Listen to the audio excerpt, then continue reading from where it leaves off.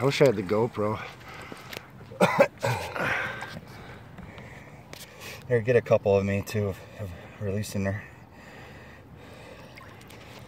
Medusa, man, she's